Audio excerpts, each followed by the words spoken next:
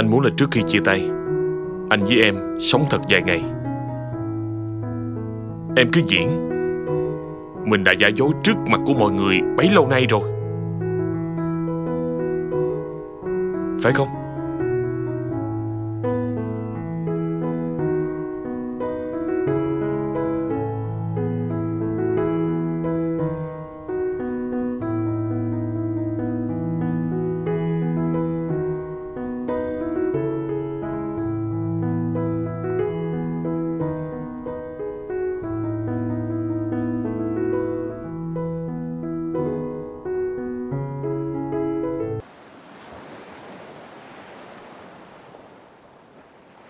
Tôi biết rồi. Ok.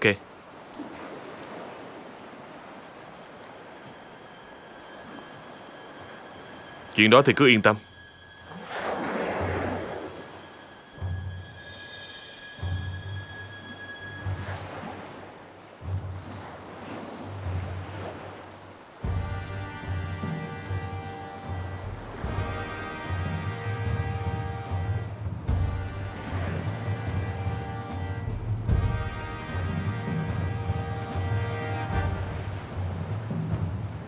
Là điện thoại của anh Phan.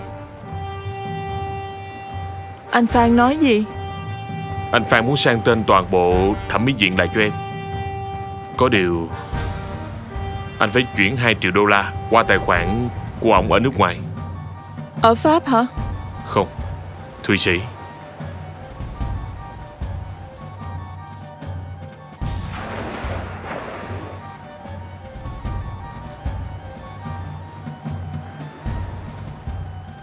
Không riêng gì thẩm mỹ viện. Hình như Ông đang có kế hoạch rút binh thì phải. Nhà hàng ở bên quận 7 Ông đang làm thủ tục sang tên. Anh nghĩ Ông đang có kế hoạch gì đó cho riêng mình. Có kế hoạch là sao? Thôi Em có muốn đi dạo không? Anh nói Có chuyện quan trọng cần nói với em. Là chuyện gì thì ờ, đi dạo, anh sẽ nói cho em nghe. Thôi, Ở đây nói cũng được. Anh nói đi.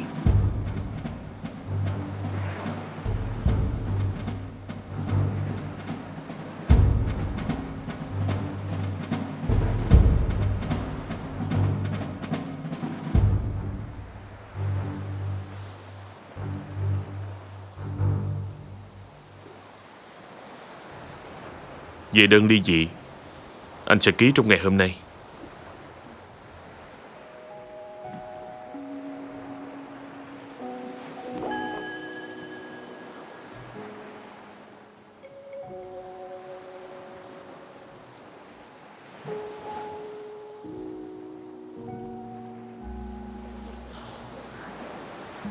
Anh đang có kế hoạch khác. Anh muốn tụi mình sẽ ra nước ngoài sinh sống. Em thấy sao?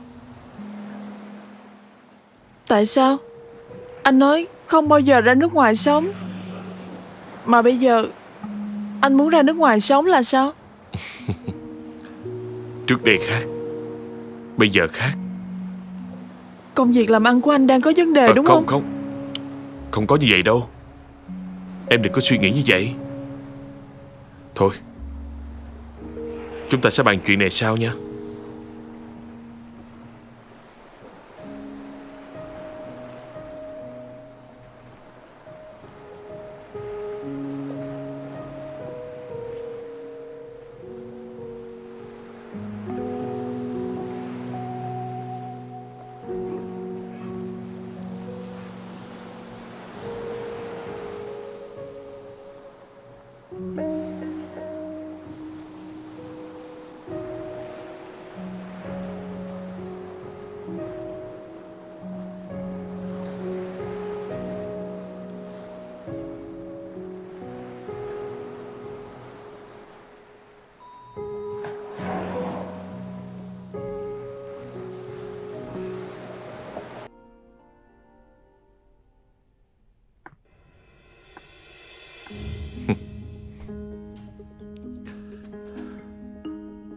Sao?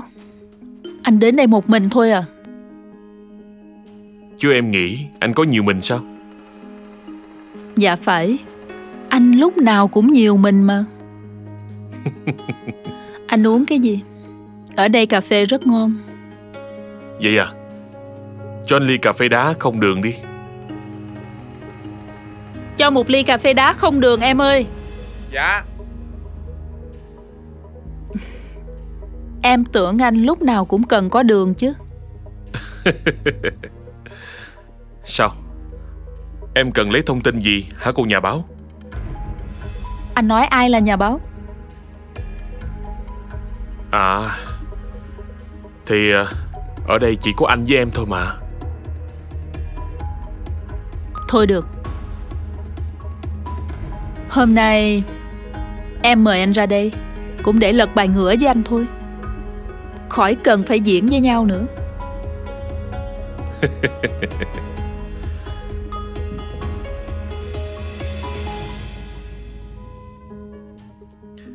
Em muốn ngửa bài sao đây?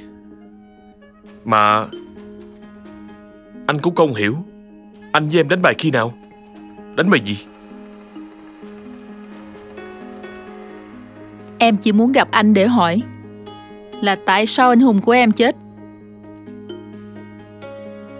Có phải là anh giết anh không? Ờ Em nói sao? Hùng Trần chết rồi à?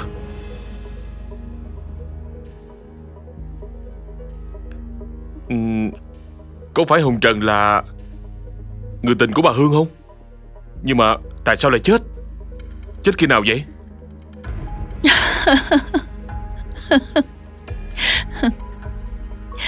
Anh đúng là cao thủ Em chịu thua. Lấy tư cách Là người tình của em vài tuần. Anh thành thật Chia buồn với em. Nhưng mà tại sao Hùng Trần lại chết vậy?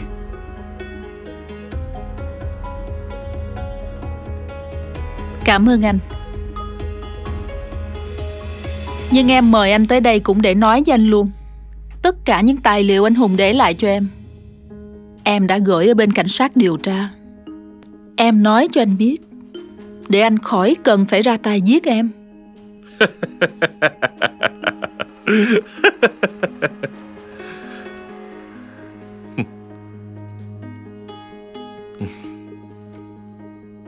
Nè, Cô nhà báo trẻ tuổi ơi. Nhiệt quyết thì có nhiều, Nhưng mà cần phải có một chút thông minh Và lau cá một chút nữa Mới làm chuyện này được cưng à.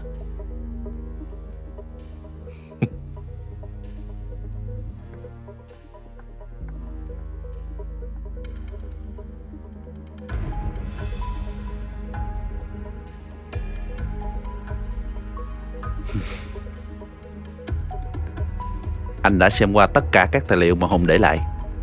Nhưng mà còn thiếu nhiều thứ lắm. Nếu như nói bà Hương là người trực tiếp quản lý các đầu mối Và phía sau bà Hương có một ông chủ nào đó Thì chưa có manh mối.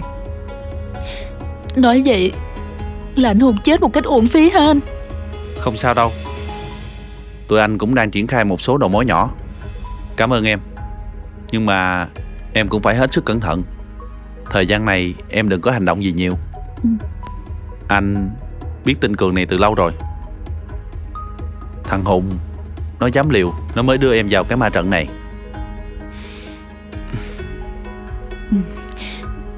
Em đang định chuyển hướng bài viết qua đề tài Người quê lên tỉnh và những cảm bẫy ngọt ngào. Ừ.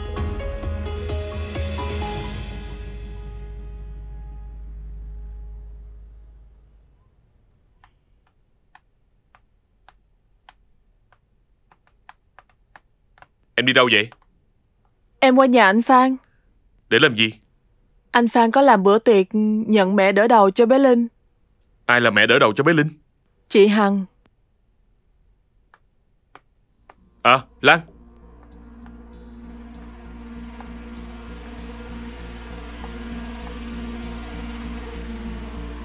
Chúc em gặp Hằng Cho Hằng xem cái này nha. Cái này là cái gì? Đây là clip Tuấn cầu hôn Hà Trời đất Làm gì mà gấp vậy Cái gì cũng có lý của nó mà em Vậy còn chuyện em với anh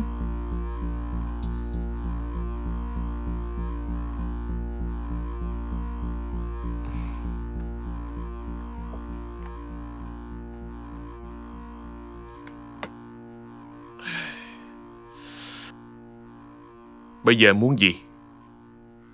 Em nói đi. Anh sẽ làm theo những gì mẹ muốn.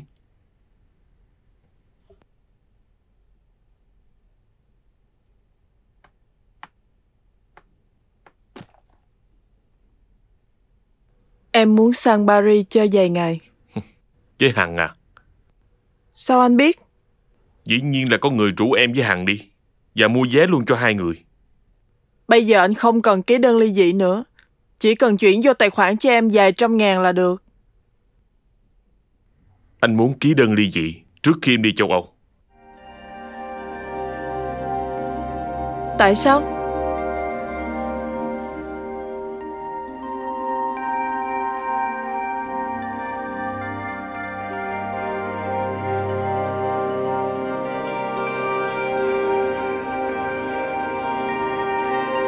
Em chỉ cần biết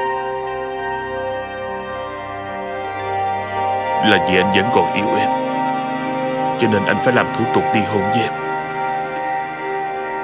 Tại sao? Tại vì em bị đồng tính à?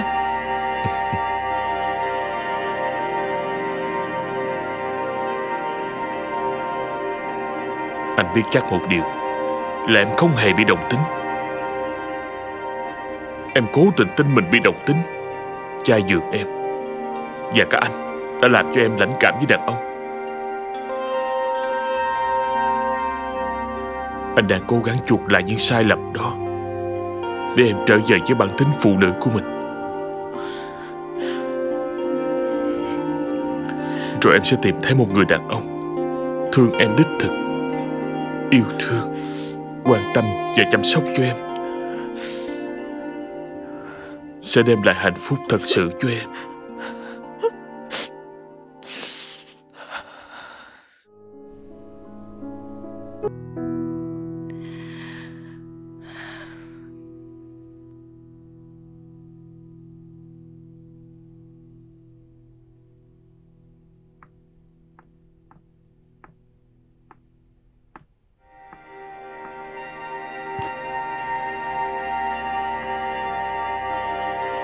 Em. Sáng nay má mới nói chuyện với anh. Má đồng ý làm đám cưới cho tụi mình rồi đó. Má chấp nhận em làm dâu rồi. Em mừng không? Anh mừng quá trời nè. Có gì đâu mà mừng. Em thấy cũng bình thường thôi. Em đang đau đầu lắm. Sao? Có chuyện gì đau đầu? Hử? Anh đi qua kia ngồi đi. Em có công việc bàn nè. Anh đừng có giỡn nữa. Tuân lệnh bà chủ. Rồi Có chuyện gì? Chị Hương của em đang nằm liệt giường. Không có nói được. Nhưng mà Em đang thắc mắc là tại sao Tiền cứ tự động chuyển vào một tài khoản ở châu Âu Để nhập thuốc và mỹ phẩm Cho thẩm mỹ viện của ông Cường. Tiền nhiều lắm. Càng lúc càng nhiều. Sao không hỏi Cường Anh á Đúng là ngây thơ thiệt đó. Ừ. Ông Cường ông chọn anh làm bù nhìn Là đúng rồi đó.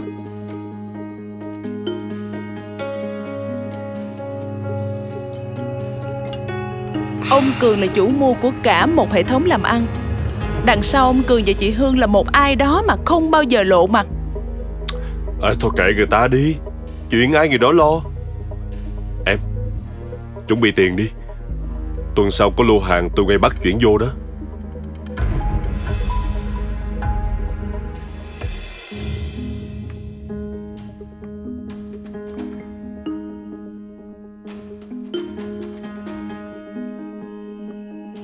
Anh Em nghĩ là mình nên ngưng lại việc mua bán hàng đá đi. Rất là nguy hiểm. Sao lại ngưng? Mình đang làm ăn ngon mà Thằng Cường nó có mối làm ăn riêng của nó Thì mình cũng phải làm ăn riêng chứ. Anh Nghe lời em đi. Những cái thứ này á Rất là nguy hiểm. Ông Cường Ổng rất là khôn ngoan và kính kẻ đó.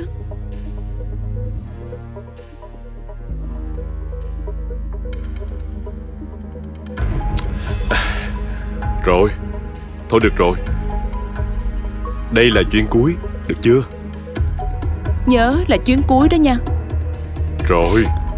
Em nghĩ là Mình là một thời gian Rồi sang lại. Em với anh đi du lịch ha. Tất nhiên rồi. Hai đứa mình sẽ làm đám cưới thiệt là hoành tráng. Sau đó đi du lịch nè Hưởng tuần trăng mật ở Nha Trang, Đà Lạt.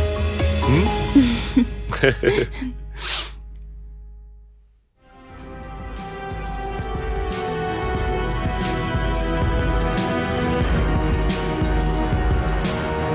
Hàng ngon á.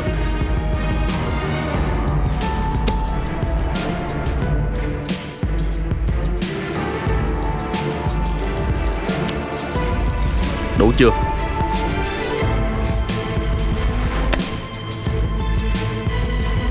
Chuyến này chuyến cuối nhau Ủa sao chuyến cuối? Đang ngon mà. Tụi tôi rửa tay gác kiếm rồi. Tất cả đứng im Các anh đã bị bắt vì tội buôn bán và tàn trữ chất ma túy trái phép. Nằm xuống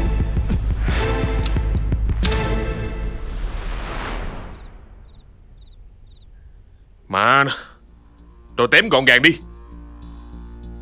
Đóng cửa hết các đường nghe chưa? Tụi này dám qua mặt tao hả? Tao sẽ cho tụi này ở tù rung xương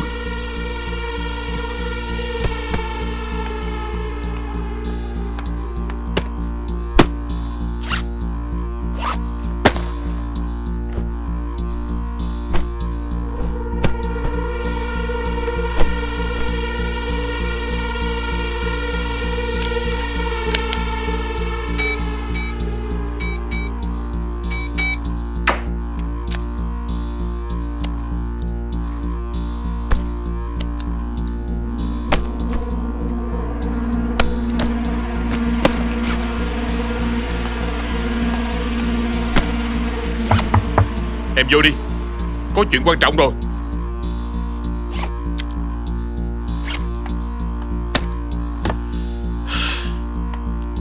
Anh tính đi đâu vậy? Bây giờ anh phải đi sang Campuchia liền bây giờ. Qua đó làm gì? Tuấn và Hà Giờ mới bị công an bắt ở quán karaoke. Tụi nó dám qua mặt anh Buôn bán hàng trắng. Họ là người khui ra chuyện này trước đó. Nhưng thật ra anh với anh Phan, Không để lại bất cứ dấu vết gì. Cái chính còn lại Chỉ còn vài việc lặt chặt thôi.